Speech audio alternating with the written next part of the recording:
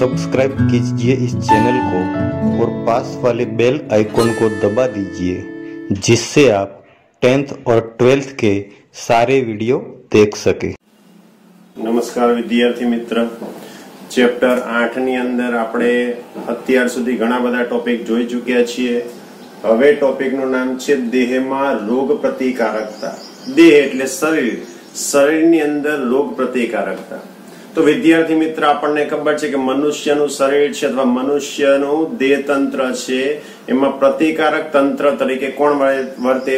તો આપણા શરીરમાં પ્રતિકારક તંત્ર તરીકે જે તે કોષ છે, અથવા તો પેશી છે, અથવા તો આપણા શરીરમાં જે એન્ટીબોડી છે તે, અથવા તો લસિકા પેશી. આ બધા પ્રતિકારક તંત્રમાં ભાગ ભજવે. કયા કયા કીધા? તો આપણા શરીરની અંદર પ્રતિકારક તંત્રમાં કાં તો કોષો છે કાં તો પેશી છે કાં તો એન્ટીબોડી છે અને કાં તો લસિકા પેશી. એ પ્રતિકારક તંત્ર તરીકે મહત્વનો ભાગ ભજવે છે. આ પ્રતિકારક તંત્ર શું કામ કરે? તો પ્રતિકારક તંત્ર છે જે તે પરજાત દ્રવ્યને ઓળખે, એન્ટીજનને ઓળખે. એન્ટીજનને ઓળખ્યા પછી એની સામે ફાઇટ આપે, એટલે કે પ્રતિચાર આપે અને એને યાદ રાખે છે. તો વિદ્યાર્થી મિત્ર, આપણે અહીંયા લખ્યું છે કે આ પ્રતિકારક તંત્ર શું કરે? તો એન્ટીજનને ઓળખે એની સામે પ્રતિચાર આપે અને એને યાદ પણ રાખે છે. આ ઉપરાંત પ્રતિકારક તંત્રમાં એલર્જીની પ્રક્રિયા, જે તમે એલર્જી ભણી ગયા, તો પ્રતિકારક તંત્રમાં જે એલર્જીની પ્રક્રિયા છે તે, એ સ્વ રોગ પ્રતિરક્ષામાં સ્વરોગ પ્રતિરક્ષા તેમજ અંગ પ્રત્યારોપણની ક્રિયામાં મદદરૂપ થાય છે. તો વિદ્યાર્થી મિત્ર, દેહમાં રોગ પ્રતિકારકતા કે તો આટલી વસ્તુ લખવાની થાય. પછી આપણે એમાં ડીપમાં જઈશું. ફરી એકવાર, દેહમાં રોગ પ્રતિકારકતા શરીરની અંદર રોગ પ્રતિકારકતા એનો મતલબ એવો કે આપણા શરીરની અંદર રોગ પ્રતિકારક તંત્ર તરીકે શું હોય? તો જે તે કોષ છે, કાં તો પેશી છે, કાં તો એન્ટીબોડી છે, કાં તો લસિકા પેશી. આ બધા શેના તરીકે વર્તે? પ્રતિકારક તંત્ર તરીકે વર્તે. આ પ્રતિકારક તંત્ર શું કરે? તો જે તે એન્ટીજનને ઓળખે, એની સામે ફાઇટ આપે, એટલે કે પ્રતિચાર આપે અને સ્મૃતિ એટલે કે યાદ પણ રાખે છે. આ ઉપરાંત પ્રતિકાર તંત્રની અંદર, આ ઉપરાંત પ્રતિકાર તંત્રની અંદર જે એલર્જીની પ્રક્રિયા છે, એ એલર્જીની પ્રક્રિયા શું કરે? તો સ્વરોગ પ્રતિરક્ષામાં. તેમજ સ્વરોગ પ્રતિરક્ષામાં તેમજ અંગ પ્રત્યારોપણની ક્રિયામાં પણ મદદરૂપ થાય છે. તો વિદ્યાર્થી મિત્ર, આપણે પ્રતિકાર તંત્રની અંદર લસિકાંગ, પેશી, કોષો, એન્ટીબોડી આ બધા પ્રતિકાર અંગ તરીકે વર્તે છે. એમાં સૌથી પહેલા ચર્ચા કરીએ લસિકા અંગ. તો આખો ટોપિક અલગ પડ્યો છે લસિકા અંગ લસિકા અંગ શરીરની અંદર બહુ જ મહત્વના છે. તો લસિકા અંગ એવા અંગ છે લસિકા અંગ છે તમારા શરીરની અંદર લસિકા પેશી છે, લસિકા કોષો છે, બરાબર છે, એ ટીશ્યુ છે આશરે પચાસ ટકા એ આપણે આવશે. તો આપણા શરીરની અંદર લસિકા અંગોની વાત કરીએ તો લસિકા અંગ એક એવા અંગ છે કે જ્યાં કે જ્યાં આ લસિકા કણ છે ઉત્પન્ન થાય ઉત્પન્ન થાય પછી પરિપક્વ થાય અને પરિપક્વ થયા પછી એનું વિભેદીકરણ થાય. લસિકાંગ એવા અંગ છે કે જ્યાં લસિકા કણ છે ઉત્પન્ન થશે, ઉત્પન્ન થયા પછી પરિપક્વ થાય અને પરિપક્વ પછી એનું વિભેદન થાય. હવે સાહેબ, આવા લસિકા કણ ઉત્પન્ન થાય તો બરાબર છે. તો આવું ક્યાં થાય? તો એની અંદર બે પ્રકારના લસિકાંગ આવશે. પ્રાથમિક લસિકાંગ અને દ્વિતીયક લસિકાંગ પ્રાઇમરી લસિકાંગ એટલે કે પ્રાથમિક લસિકા અંગ અને બીજું દ્વિતીયક લસિકા અંગ. પ્રાથમિક લસિકા અંગ તરીકે કોણ હોય? તો બોન મેરો, જેને અસ્થિમજ્જા કહો છો, અને થાઇમસ. તો પ્રાથમિક લસિકા અંગની અંદર થાઇમસ અને અસ્થિમજ્જાનો સમાવેશ થાય છે.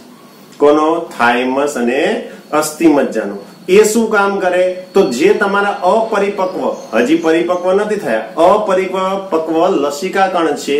એ અપરિપક્વ લસિકા કણોને એન્ટીજન સંવેદી લસિકા કણોમાં ફેરવે. તો મેં તમને અહીંયા લખીને આપ્યું છે, અપરિપક્વ લસિકા કણ છે, એને એન્ટીજન સંવેદી લસિકા કણોમાં ફેરવે. વિદ્યાર્થી મિત્ર, ખાસ ધ્યાન રાખજો.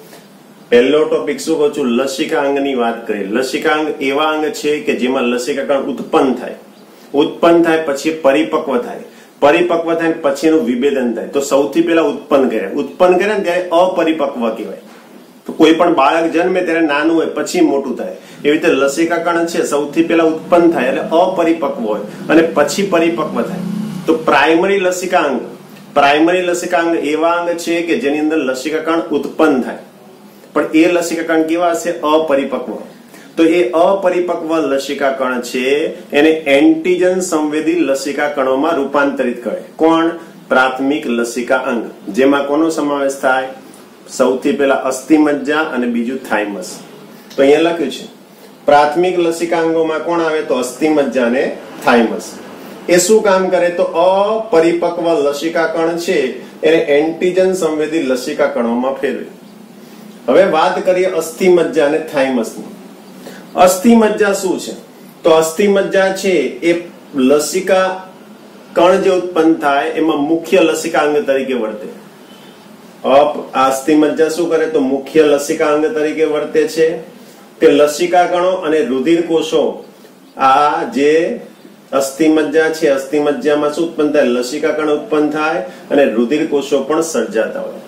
અસ્થિમજ્જા દેશી ભાષામાં તમારું હાડકું છે, એ હાડકાનું વચ્ચેનું જે પોલાણ છે, જેને મેદરસ કહેવાય. એ મેદરસની અંદર શું હોય? તો એની અંદર લસિકા કણ પણ ઉત્પન્ન થશે અને રુધિર કોષો પણ ઉત્પન્ન થાય. છે તમે રક્ત કણ કહો છો તે. બીજું છે થાઇમસ.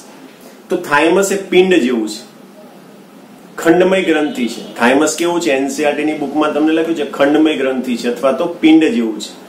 જે બાલ્યાવસ્થે તમારા શરીરની અંદર મોટા કદમાં હોય. અને જેમ જેમ તમારું શરીર મોટી અવસ્થા એટલે પુખ્ત અવસ્થામાં પહોંચો ત્યારે એનું કદ નાનું થઈ જાય. એનું કદ કેવું થઈ જાય? નાનું. બાલ્યાવસ્થામાં કદ કેવું હોય? મોટું. સાહેબ, એ ક્યાં હોય? તો તમારું હૃદય છે એ હૃદયની નજીક અને છાતીનું અસ્થિ છે એની નીચે. હૃદયની નજીક અને છાતીના અસ્થિની નીચે હોય છે.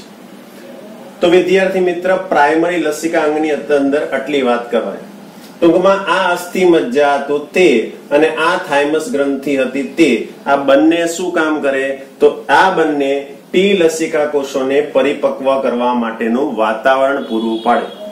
ટી લસિકા કણો છે એને પરિપક્વ કરવા માટેનું વાતાવરણ પૂરું પાડે. ફરી એકવાર વિદ્યાર્થી મિત્ર લસિકાંગ છે, તો લસિકાંગ એવા અંગ છે કે જેમાં લસિકા કણ ઉત્પન્ન થશે, ઉત્પન્ન થાય પછી પરિપક્વ થશે અને પરિપક્વ થયા પછી વિભેદન થશે.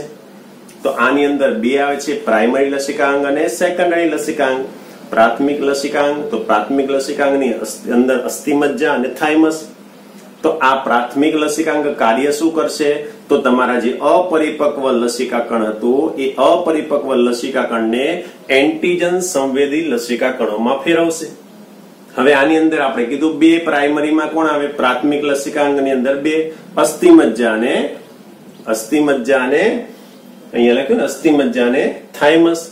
અસ્થિમજ્જાએ શું કામ કર્યું? તો અસ્થિમજ્જાની અંદર શું આવશે? લસિકા કણો મુખ્ય લસિકા ઉત્પન્ન કરતી ગ્રંથિ છે. અથવા મુખ્ય લસિકા કણો ઉત્પન્ન કરતું સ્થાન છે, તો મુખ્ય લસિકા અંગ ઉત્પન્ન કરતું સ્થાન છે. જેની અંદર લસિકા કણો તો ઉત્પન્ન થશે જ. એની સાથે સાથે શું ઉત્પન્ન થાય? રુધિર કોષો ઉત્પન્ન થાય. થાઇમસ. થાઇમસ કેવું છે? પિંડ આકારનું છે અથવા ખંડમય ગ્રંથિ છે, જે બાલ્યાવસ્થામાં નાના, મોટા કદની હોય અને જેમ જેમ પુખ્ત અવસ્થામાં પહોંચો એમ એનું કદ નાનું થતું જાય. તો આ થાઇમસ ગ્રંથિ ક્યાં છે? તો હૃદયની નજીક અને છાતીના હાડકું છે અથવા છાતીનું અસ્થિ છે, એના સહેજ નીચેના ભાગમાં હોય છે. ટૂંકમાં અસ્થિ મજ્જા અને થાઇમસ, આ બંને કરીને શું કરે છે? તો અસ્થિ મજ્જા અને થાઇમસ બંને લસિકા કોષ ઉપર ઉપર જ પ્રક્રિયા કરશે. પણ જે ટી પ્રકારના લસિકા કોષ, આપણે બી અને ટી પ્રકારના લસિકા કોષ હતા, તો થાઇમસ અને અસ્થિમજ્જા આ બંને શું કરશે? તો ટી લસિકા કોષોને પરિપક્વ કરવા માટેનું સ્થાન પૂરું પાડશે. હવે વાત કરીએ પ્રાથમિક લસિકાંગની જેમ દ્વિતીય લસિકાંગ. તો અહીંયા ટોપિક લખ્યું છે દ્વિતીય લસિકાંગ. દ્વિતીય લસિકાંગની અંદર કોણ આવે? તો બરોળ, જેને કે તમે સ્પ્લીન કહો છો. શું છે બરોળ? પછી કાકડા, પછી લસિકા ગાંઠો. કાકડા, પછી લસિકા ગાંઠો. તેમજ નાના આંતરડાની પિયર્સ દિવાલો. અથવા નાના આંતરડાના દિવાલની અંદર આવેલા અસ્તર લસિકા પેશીનો જથ્થો એ. અને આંત્રપુછ દ્વિતીય લસિકા અંગમાં કોનો સમાવેશ થાય તો સૌથી પહેલા કાંકડા, લસિકા ગાંઠ, સ્પ્લીન એટલે કે બળોળ. પછી મેં તમને કીધું નાના આંતરડાની પેયર્સની દિવાલો અને આંતરભુજ. આટલાનો સમાવેશ થાય છે. તો એમાં સૌથી પહેલા આપણે ચર્ચા કરીએ બળોળ. બળોળ કેવું છે? તો બળોળ વટાણાના દાણા જેવું છે. કેવું છે? વટાણાના દાણા જેવું. બળોળની અંદર મોટા મોટામાં મોટું સંગ્રહ સ્થાન ઇરિથ્રોસાઇડ. ઇરિથ્રોસાઇડ એટલે રક્તકણ. રક્તકણોનો સંગ્રહનું મોટા મોટું સ્થાન છે તો બળોળ અહીંયા મિત્ર મેં લખ્યું છે, જો. ઇરિથ્રોસાઇટ્સનું સંગ્રહ સ્થાન છે. આ બરોળ છે. એ બળોળ મેં તમને કીધું વટાણાના દાણા જેવડું છે. એ બળોળ શું ધરાવે? તો બળોળની અંદર લસિકા કણ હશે અને ભક્ષક કોષો હશે. શું હશે? લસિકાગણ અને ભક્ષકોષ હવે નામ ઉપરથી ખબર પડી જાય ભક્ષકોષ એટલે ભક્ષણ કરે.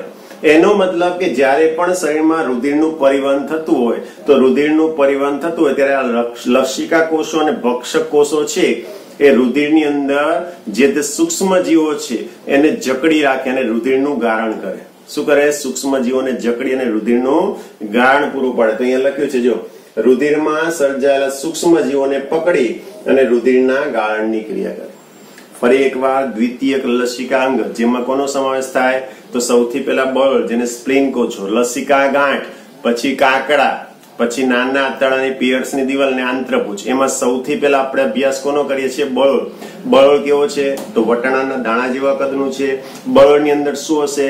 તો રુધિર કોષ સોરી ભક્ષક કોષો હશે અને લસિકા કોષો હશે. શું હશે? ભક્ષક કોષો અને લસિકા કોષો આ બંને કામ શું કરશે? તો તમારા શરીરની અંદર રુધિરમાં જે પણ સૂક્ષ્મ જીવો આવેલા છે અથવા એન્ટીજન આવ્યા છે, તો રુધિરમાં ગારણની ક્રિયા કરી અને આ સૂક્ષ્મ જીવોને શું કરે?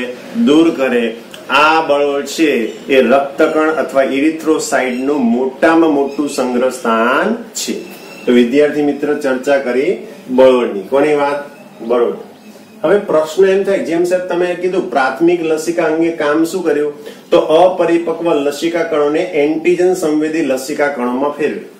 એવી રીતે આ દ્વિતીય લસિકા અંગ શું કામ કરે? તો દ્વિતીય લસિકા અંગ કામ શું કરે? તો લસિકા કણ છે, એ લસિકા કણોને એન્ટીજન સાથે જોડવા માટેનું સ્થાન પૂરું પાડે. દેશી ભાષામાં પ્લેસ જગ્યા પૂરી પાડે. લસિકા કણોને એન્ટીજન છે એન્ટીજન સાથે જોડાણ કરવા માટે સ્થાન પૂરું પાડે. કોણ? દ્વિતીય લસિકાંગ. દ્વિતીયક લસિકાંગોનું ફંક્શન શું? તો એન્ટીજન સાથે જોડાણ કરવા માટેનું સ્થાન પૂરું પાડે. અને પ્રક્રિયા બાદ, અહીંયા તમને લખ્યું છે, પ્રક્રિયા પછી અસરકારક કોષ તરીકે તેને ઓળખ પૂરી પાડતા હોય છે. તો વિદ્યાર્થી મિત્ર, આની ચર્ચા થઈ. એના પછી આવે લસિકા ગાંઠ. તો લસિકા ગાંઠની વાત. લસિકા ગાંઠ ક્યાં હોય? તો લસિકા તંત્રમાં હોય. તો લસિકા ગાંઠ છે એ લસિકા તંત્રમાં આવેલી નાની સખત રચના છે. લસિકા ગાંઠ શું છે? તો લસિકા તંત્રમાં આવેલી નાની સખત ગાંઠ જેવી રચના છે.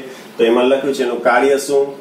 તો લસિકા ગાંઠ લસિકા ગાંઠની અંદર ક્યાં હશે તો લસિકા અથવા તો પેશીય જળમાં જોવા મળે તો લસિકા અને પેશીય જળમાં સૂક્ષ્મ જીવોને જકડી રાખે અહીંયા કેવું હતું રુધિરમાં સહેલા સૂક્ષ્મ જીવોને તો આ લસિકા અને પેશીય જળમાં સૂક્ષ્મ જીવોને જકડી રાખે એવું પણ તો લસિકા ગાંઠ લસિકા ગાંઠમાં શું તો લસિકા ગાંઠમાં સૂક્ષ્મ જીવોને પકડાય એટલે એન્ટીજનને પકડ્યા તો લસિકા ગાંઠમાં જ્યારે પણ એન્ટીજન પકડાય, એટલે એની અંદર લિમ્ફોસાઇટ સક્રિય થાય. કોણ? લિમ્ફોસાઇટ સક્રિય થાય. અને લિમ્ફોસાઇટ સક્રિય થાય, એટલે તમારી એક્ટિવિટી ચાલુ થઈ જાય. તો લિમ્ફોસાઇટને સક્રિય કરે, જેને કારણે લિમ્ફોસાઇટ એની સામે શું કરે? ફાઇટ આપે, એટલે કે પ્રતિચાર આવું તમને ક્યાં જોવા મળે? તો તમારો જે શ્વસન માર્ગ છે તેમાં, શ્વસન માર્ગ છે તેમાં, પાચન માર્ગ છે, મૂત્રજનન માર્ગ છે, આના અસ્તરમાં તમને આવું જોવા મળતું હોય. છે. અને આશરે ટોટલ લસિકા પેશી છે. લસિકા પેશી છે, એના પચાસ ટકા પેશી આવા વિસ્તારમાં તમને જોવા મળે છે, જેને માલ્ટ કહો છો. Malt M A L T અહીંયા લખેલું છે. મ્યુકોઝલ એસોસિએટેડ લિમ્ફોસાઇટ ટીસ્યુ શું નામ છે? મ્યુકોઝિયલ એસોસિએટેડ લિમ્ફોસાઇટ ટીસ્યુ તો ફરી એકવાર વિદ્યાર્થી મિત્રો, ફટાફટ લસિકાંગ લસિકાંગ એવા અંગ છે કે જ્યાં લસિકાંગ ઉત્પન્ન થશે, ઉત્પન્ન થાય પછી પરિપક્વ થાય, પરિપક્વ પછી વિભેદન પામશે. લસિકાંગમાં બે છે, પ્રાઇમરી અને સેકન્ડરી. પ્રાઇમરીની અંદર શું થાય? તો એનું કાર્ય શું છે? તો જે તે એન્ટીજન છે, બરાબર છે, એને શું કરશે? તો અહીંયા લખ્યું છે, એ જે તે અપરિપક્વ લસિકા કણો છે, એને એન્ટીજન સંવેદી લસિકા કણોમાં ફેરવે. પ્રાઇમરી લસિકાંગ બે છે, એની અંદર બે વસ્તુનો સમાવેશ થાય અસ્થિ મજ્જા અને અસ્થિ અને થાઇમસ. અસ્થિ શું છે? તો મુખ્ય લસિકાંગ તરીકે વર્તે છે, જેમાં લસિકા કણો અને રુધિરકોષો જોવા મળે છે. થાઇમસ છે, પિંડ જેવું છે. બાલ્યાવસ્થામાં મોટા કદનું હોય, પુખ્ત અવસ્થામાં કદ નાનું થઈ જાય. કામ શું કરે છે? તો એ કામ કઈ જગ્યાએ આવેલી છે? તો છાતીના નીચેના ભાગમાં અને હૃદયની નજીક. આ બંને ભેગા થાય. અસ્થિ મજ્જા અને થાઇમસ, એ બંને ભેગા થાય અને ટી લસિકા કોષોને શું કરે છે? પરિપક્વ કરે છે. એના પછી દ્વિતીય, દ્વિતીયની અંદર કોણ વાત કરી? તો તમને કાકડા કીધા, બરોળ કીધું, નાના તળની પેટ્સની દિવાલ કીધી, લસિકા ગાંઠ કીધી આંતરપૂછ આ બધાની ચર્ચા કરી. આનું કાર્ય શું? તો મેઇન કાર્ય અહીંયા બતાવેલું છે તમને, લસિકા કણોને એન્ટીજન સાથે પ્રક્રિયા કરવા માટેનું સ્થાન પૂરું પાડે. લસિકા કણ છે, એને એન્ટીજન સાથે પ્રક્રિયા કરવાનું સ્થાન પૂરું પાડે અને પ્રક્રિયા બાદ તેની ચોક્કસ ઓળખ પૂરી પાડશે. એમાં સૌથી પહેલા વાત કરીએ બળ. બળ કેવું છે? વટાણાના દાણા જેવા કદનું છે? જેમાં શું હોય તો લસિકા કણ હશે ને ભક્ષ્ય કોષ છે. આ બંને શું કામ કરશે? તો રુધિરની અંદર જે પણ સૂક્ષ્મજીવો છે, એ સૂક્ષ્મજીવોને પકડી અથવા જકડી રાખી અને રુધિરનું શું કરે? ગારણની ક્રિયા કરે. બળનું બીજું કામ શું? તો ઇરિથ્રોસાઇટ્સનું મોટામાં મોટું સંગ્રહ સ્થાન છે. એના પછી ચર્ચા કરી આપણે લસિકા ગાંઠ. તો લસિકા ગાંઠ ક્યાં હોય? તો લસિકા તંત્રમાં આવેલું હોય. તો લસિકા તંત્રમાં આવેલી લસિકા ગાંઠ છે. એ લસિકા અને પેશીય જળમાં જોવા મળે, તો લસિકા અને પેશીય જળમાં સૂક્ષ્મ જીવોને શું કરશે? જકડી રાખશે. એનું કાર્ય છે. લસિકા ગાંઠમાં શું હોય? તો લસિકા તંત્રમાં આવેલી નાની સખત રચના છે. જે શું કામ કરશે? તો લસિકા અને પેશીય જળમાં આવેલા સૂક્ષ્મ જીવોને શું કરે? જકડી રાખે. આવું તમને ક્યાં જોવા મળે? તો તમારા પાચન માર્ગમાં, શ્વસન માર્ગમાં, તેમજ મૂત્રજનન માર્ગ છે. એની અંદર તમને આવી ટીસ્યુ જોવા મળતી હોય છે, જેને આપણે માર્ટ તરીકે ઓળખવામાં આવે છે. મ્યુકોઝિયલ એસોસિએટેડ લિમ્ફોઇડ ટીસ્યુ જે તમારા શરીરની લસિકા પેશીના પચાસ ટકા કરતા વધારે જથ્થો આમાં હોય છે. તો વિદ્યાર્થી મિત્રો, આપણે આજના દિવસ પૂરતું અહીંયા રાખીએ છીએ. નેક્સ્ટ લેક્ચરમાં નવો ટોપિક ભણીશું.